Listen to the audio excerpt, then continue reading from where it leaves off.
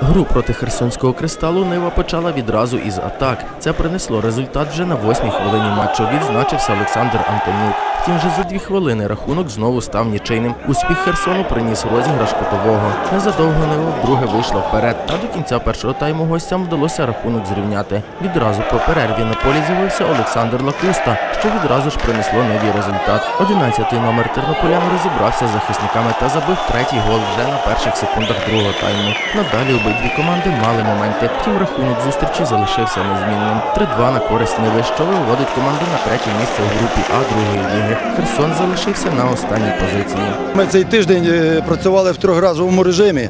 І скажу відверто, чому тому, що був період часу, де ми мали практично 6 днів вихід, ну, е, перепочинку від ігри до ігри, і потрібно було трошки їх ну, збудоражити для того, щоб підвести до ігри з Черніговом і щоб команда хорошо виглядала функціонально до е, кубкової ігри.